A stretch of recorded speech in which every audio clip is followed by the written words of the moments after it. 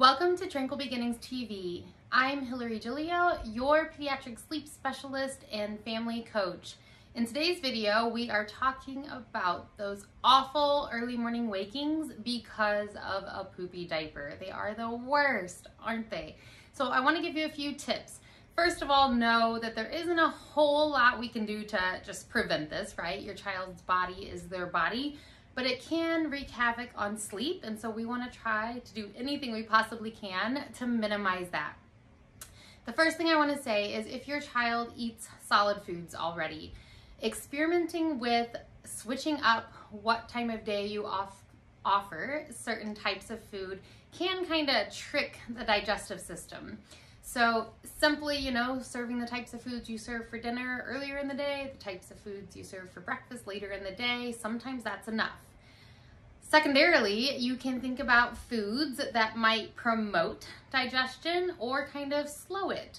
So maybe don't offer blueberries at dinner time, but think about bananas and cheese and other foods that are known to kind of slow down the digestive system in hopes that they make it through the night before their next bowel movement.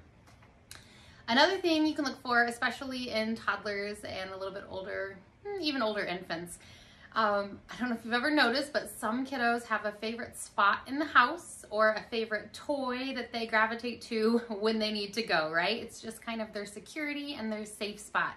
So if your child has a spot in the house or a teddy bear that they go near whenever they are filling their diaper, you can try to take your child to that place or to that toy at, during bedtime routine to try to encourage them to go ahead and relieve themselves before they go to bed.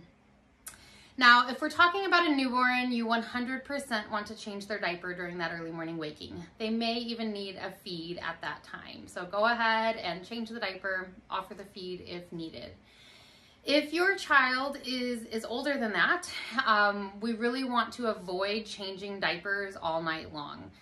So going in 4, 5, 6 a.m. and changing a diaper, if you've ever tried before, 99% positive, your child probably had a hard time going back to sleep and maybe went from a level one out of five to a level five out of five on their escalation scale the moment you changed their diaper and left the room. So really going in and intervening in those early morning hours normally doesn't help your child get back to sleep. So what we do want to do is lather on the diaper cream thick at bedtime, always as a preventative measure. It's a barrier cream between their skin and the poop. So lather it on thick, find one that works well for your child, and then rest assured that their body will be safe until morning. Now I will say, while, I do tell you to stay out of the room without intervention in those early morning hours, there is one caveat to that. If your child relies on a sleep prop or something external provided by you in order to get to sleep, such as a pacifier, feeding to sleep, rocking to sleep, bouncing to sleep, then do not stay out of the room that whole time. And here's the reason why. I wouldn't tell you that normally, but in this case I will.